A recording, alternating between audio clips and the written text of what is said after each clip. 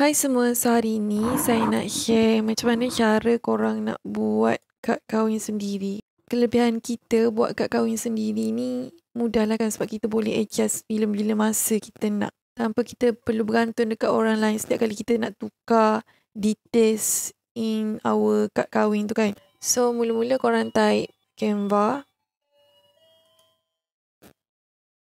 Okay, keluar dah Canva com ni dekat sini korang boleh login lah. Boleh login guna Gmail account ke, boleh guna email Microsoft account ke. Okay, it's up to you.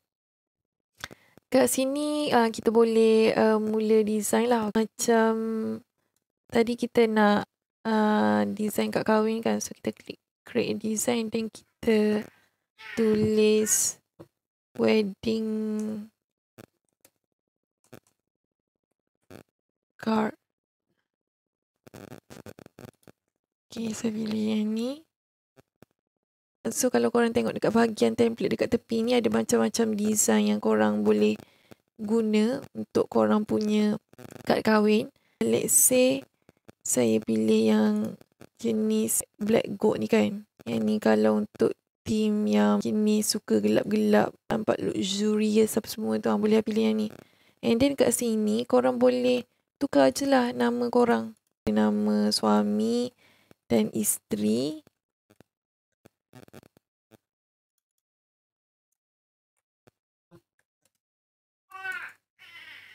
And kat sini boleh tukar date, destination. Lepas tu kalau korang nak tambah lagi elemen rasa macam kosong sangat kan. Korang pilih elemen ni. And then korang type lah elemen apa yang korang nak. Macam contoh saya nak lampu kan. Uh, boleh type lamp. And then pilih lah uh, mana-mana yang sesuai kan. Ataupun nak masukkan sparkle. Type je lah sparkle. Ha, nampak? So that kita boleh uh, pilih elemen yang macam biar masuk lah dengan kita punya kad kahwin ni. Okay. Contoh saya pilih yang ni. Tak nak serabut. Buang lah. Kalau nak buang direct ke tepi macam tu je. Okay, yang contohnya.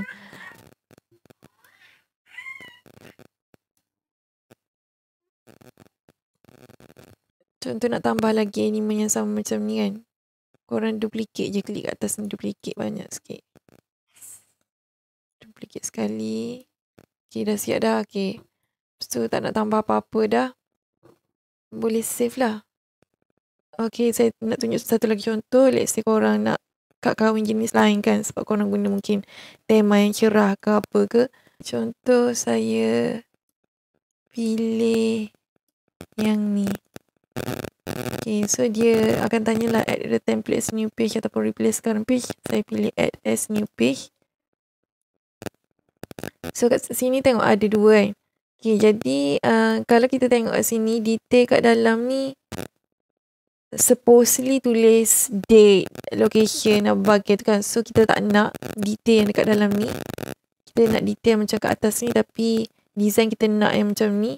So apa yang korang boleh buat? Korang boleh adjust lah detail dia ni. So cara nak adjust dia Sama ada korang tambah teks baru Ataupun Copy je teks atas ni And then masukkan ke dalam Page yang kedua ni. Saya akan just copy je uh, Macam kalau tengok sini Kita tak boleh nak highlight Sebab ada elemen yang dekat atas ni Yang mengganggu Yang membuatkan kita tak boleh highlight. Jadi cara tak nak bagi dia mengganggu kita right click dia. And then kita lock pilih lock. Kita pilih lock. Lepas kita dah lock tu dia dah tak ganggu dah. Kita nak buat benda lain kan? So now kita boleh highlight. And then kita klik copy lepas tu kita paste dekat sini right click paste okay So yang kat bawah ni kita boleh delete. Highlight and then klik delete. Lepas tu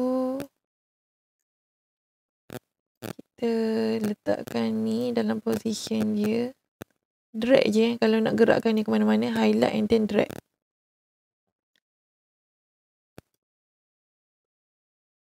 So yang ni kita letak atas sikit.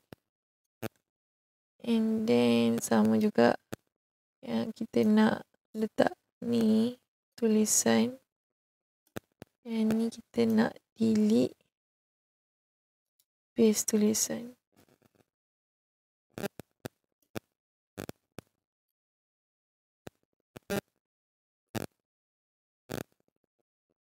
dan yang ni kita nak delete klik delete je lah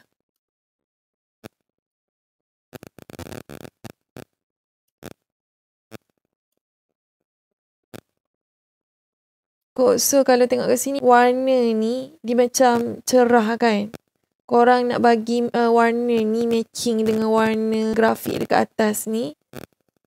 Cara dia klik grafik ni and then korang nampak warna ni klik color ni. So uh, uh, dia bila kita klik tu dia akan detect color ni and then masuk dalam document color. So korang ingat ni warna warna untuk grafik ni jadi untuk dapatkan tulisan yang sama dengan warna grafik ni korang highlight semua tulisan ni klik text color lepas tu pilih lah warna yang sama dengan grafik tu. Okay. Kita klik. So kalau korang tengok ah, sekarang ni dah jadi gelap dah kan. Which is sama dengan uh, gambar ni. And then yang ni pun sama. Klik. Lepas tu pilih text color. Lepas tu klik yang ni. Okay. Nama ni kita tukarlah kepada nama kita.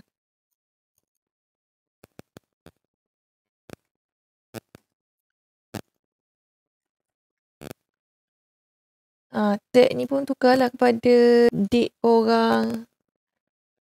Contoh kahwin bila Lepas tu majlis pukul biasa pukul apa? Pukul 11 kan biasa majlis. Eh pukul 12 sekarang.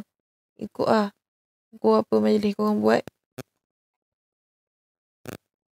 sampai pukul 4. Lepas tu yang ni tukar location rumah korang, lot, bla bla bla bla bla.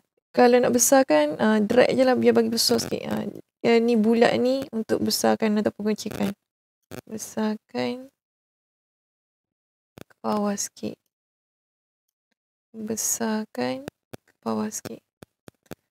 Ataupun kalau korang nak tambah lagi teks lain, korang uh, klik je huruf T dekat keyboard tu and then dia akan keluar your paragraph text ni.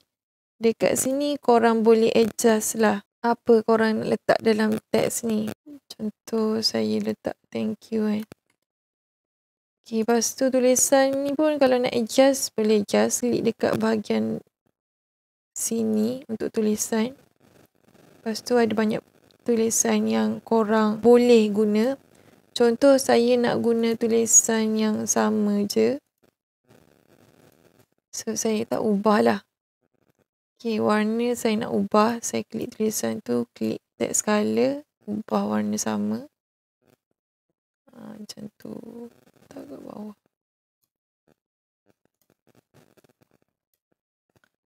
Ini adjust je lah mengikut kesesuaian dia punya jarak apa semua ni. Bila korang dah berpuas hati kan, korang boleh save. Cara nak save dia, klik share, klik download. Lepas tu save dalam bentuk PDF print. Macam sekarang ni kalau kita nak print benda ni, korang save dalam bentuk PDF lah. Okay, pilih PDF print. Kalau tengok kat sini dia best for printing sebab dia memang dia punya image ni high quality lah untuk make sure nanti bila dah print tu warna dia lawa je okay so klik PDF print and then kalau tengok kat sini uh, page kalau kita tak pilih page dia akan download dua-dua. Jadi kita pilih lah page mana yang kita nak download. Macam tadi kita dah uh, finalize kan kita nak page yang kedua kan. So kita download page kedua je lah. Tak payah download lah page lain. And then klik done. Lepas tu klik download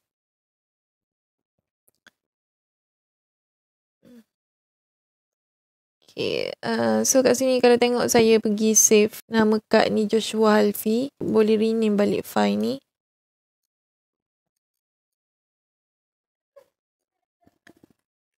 kak wedding. So bila kita rename file ni and then bila kita save tu dia akan letak nama apa yang kita rename ni lah. So tu saja perkongsian saya hari ini macam mana cara nak design kad kahwin sendiri. Sangat mudah, simple dan cantik. And yang paling penting mudah kita nak adjust kok-kok tiba nak tukar tarikh lain ke apa kan. Kok-kok pasangan kita tak puas hati kan nak nak design bentuk lain ke apa ke. So korang boleh berbincang and mendapatkan hasil yang terbaik lah. Siapa-siapa yang ada soalan tu boleh tinggalkan soalan dekat dalam komen box kat bawah.